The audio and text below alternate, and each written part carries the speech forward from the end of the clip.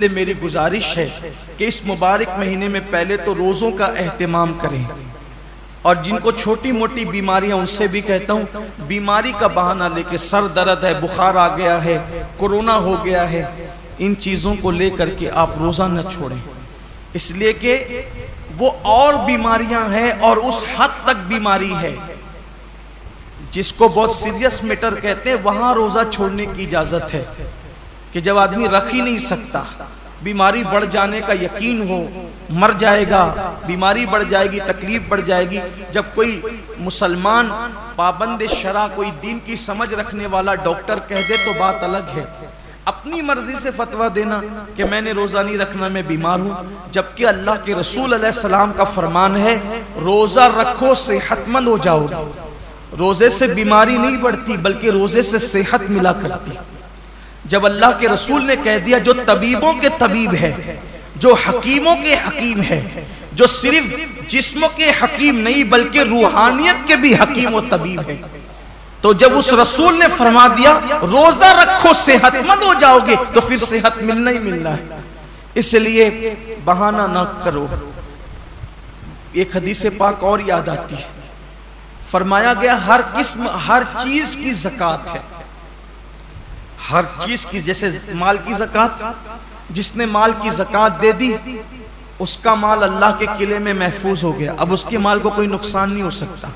ایسے ہی جان کی بھی زکاة ہے جسم کی بھی زکاة ہے۔ تو جان کی زکاة کیا ہے؟ میرے آقا علیہ السلام فرماتے ہیں، روزہ یہ تمہاری جان کی زکاة ہے۔ تمہارے جسم کی زکاة مطلب جو لوگ روزہ رکھ لیتے ہیں، اب ان کی جان بھی اللہ محفوظ کر لیتا ہے۔ وہ مہلک بیماریوں سے، موزی بیماریوں سے محفوظ ہو جاتے ہیں۔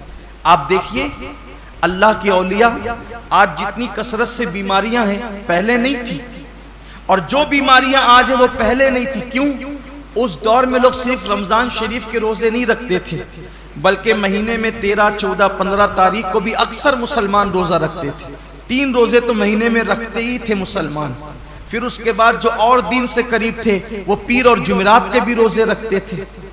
پھر موقع بموقع عاشورہ کا روزہ، یہ روزہ، وہ روزہ یعنی جو موقع آیا اس کے بہانے سے روزے رکھتے تھے۔ اس لیے یہ بیماریاں ان کو نہیں تھی جن بیماریوں میں ہم مبتلا ہے کیوں؟ کیونکہ وہ جسم کی زکاة نکالتے رہتے تھے۔ اور جب زکاة نکلتی رہے گی تو جسم محفوظ ہوتا رہے گا۔ ہم سمجھتے ہیں کہ کھانے سے طاقت ملتی ہے۔ طاقت کھانے سے نہیں ملتی۔ کھانا تو ایک بہانہ ہے۔ فرمایا گیا، کم کھانا یہ صحت انسان کو صحت مند کرتا ہے۔ کم غذا انسان کو صحت مند کرتی۔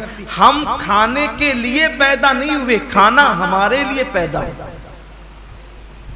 بزرگوں نے فرمایا، جینے کے لیے کھایا کرو، کھانے کے لیے جیا مت کرو۔ اللہ کے لیے جیو۔